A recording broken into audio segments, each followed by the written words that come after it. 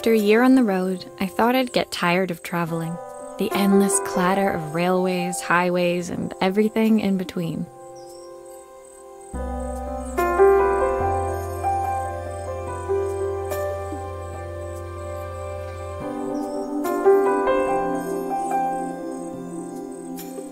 But as my train pulled into the station at Bellariva, I felt every bit as excited as the first day of my journey.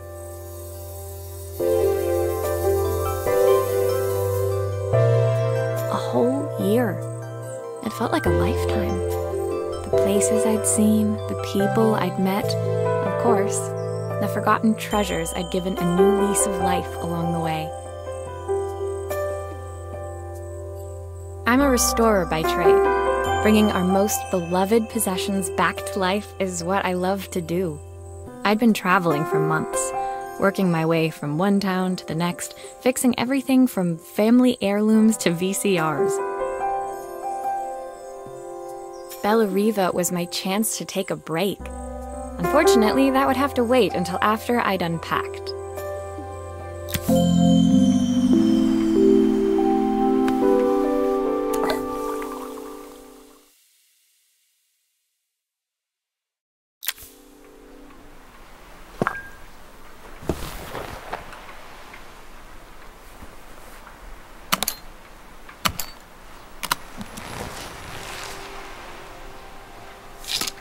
I picked up these sunglasses on my last stop. Hopefully, I'm cool enough to pull them off. I saw a guitarist wearing these at a show once. Rock and roll repair woman at your service.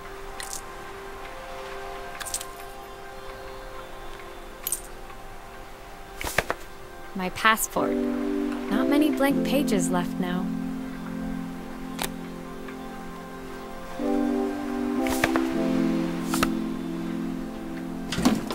The tools of my trade.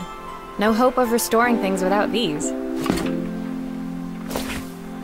My favorite overalls. These will never go out of style. Who doesn't love a scrunchie? Practical and stylish.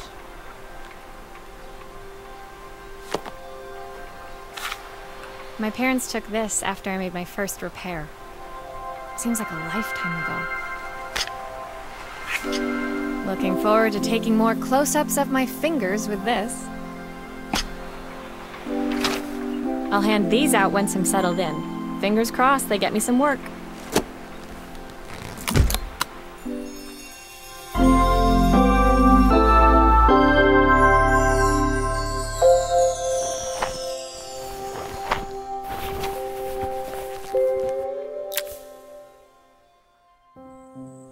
Finally, I'd made it to Bellariva.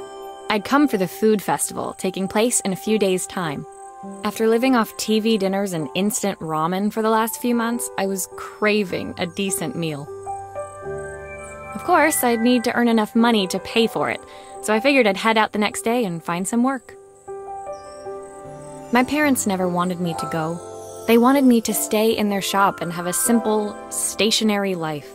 I knew there was a world out there, beyond the four walls of our antique store, that I had to be a part of.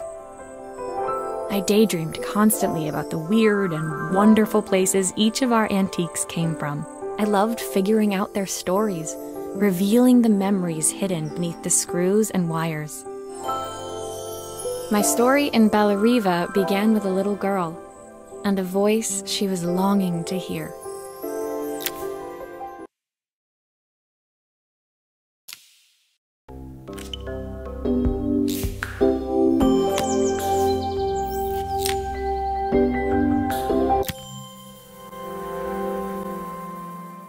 It was my first morning in Bellariva, and I couldn't wait to leave my hotel and explore. It was a quiet town, its streets and alleyways basking peacefully in the hot morning sun. In the main square, meanwhile, preparations were underway for the festival in a few days' time. As I handed out my flyers, I wondered what the people of Bellariva would need me to fix. So far, everything here seemed perfect. I was starting to worry I'd made a mistake when I felt someone tapping me on the back. Hi, I'm Izzy. Do you know how to fix things? It was a little girl, maybe seven years old, who must have gotten hold of one of my flyers. She rummaged around in her backpack until she hauled out a battered red cassette deck. My tape is broken and I can't make it work anymore. I tried to fix it myself, but there's this metal thing in the way. Can you try?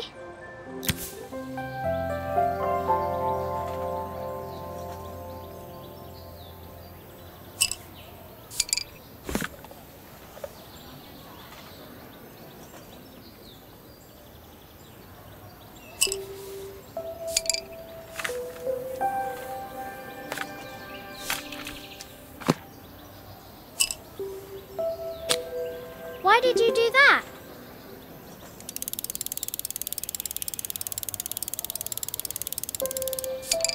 How did you do that? I didn't see.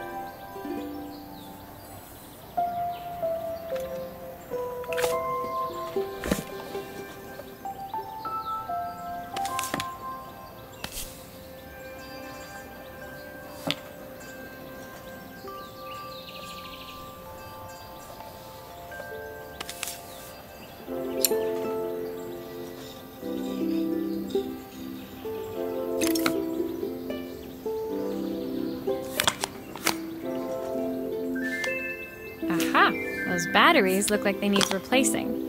Luckily, I have some spares.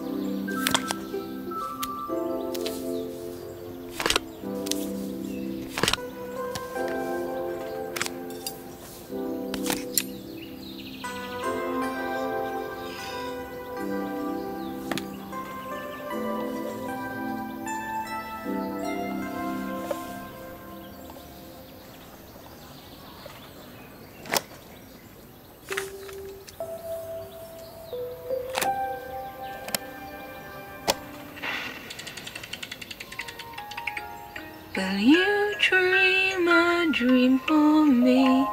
If I sit by your side and hold you so tight, know that I will always love you. Even though we both know that we must say goodnight. Goodnight, my darling.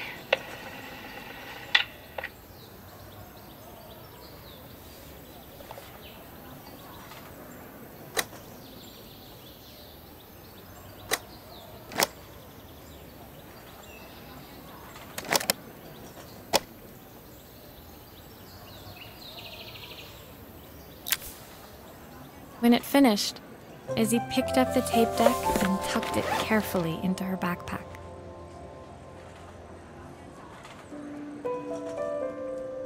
Thanks, Maria. You're the best person at fixing things ever. No problem.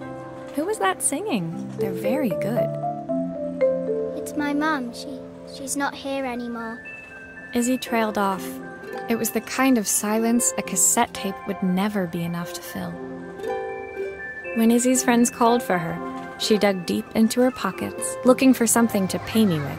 Eventually, she produced a grand total of a stick of gum, three mismatched buttons, and a yo yo.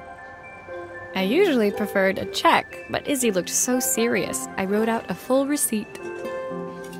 She seemed like a happy kid, but beneath it all, part of her life had been shattered. Part I wouldn't be able to fix.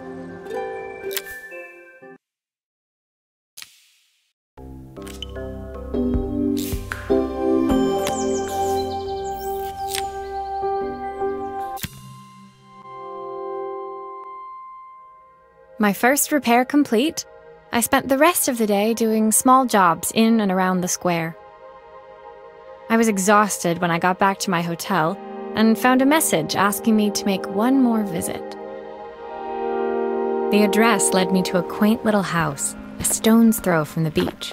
Bathed in the evening light, it looked beautiful, in spite of its flaking paintwork and chipped tiles.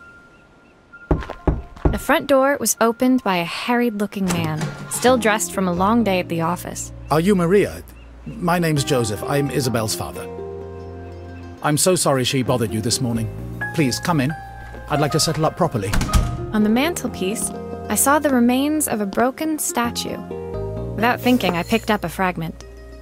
Ah, my father's statue. What's left of it, at least. Yet another way I'd have disappointed him. It survived a hundred years in this family. But five minutes with Isabel, and. Uh, do you think you can salvage it?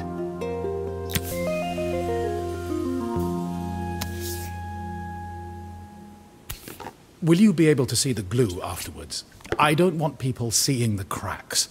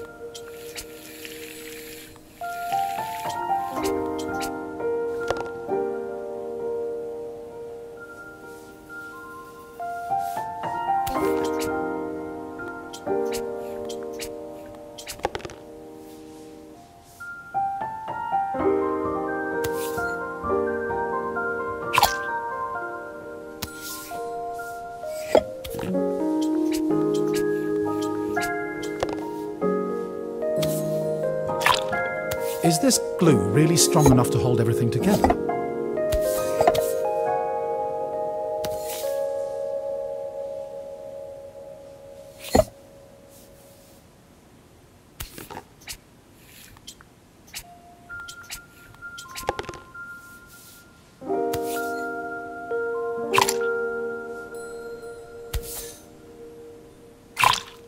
Sometimes I think my daughter should come with a warning label.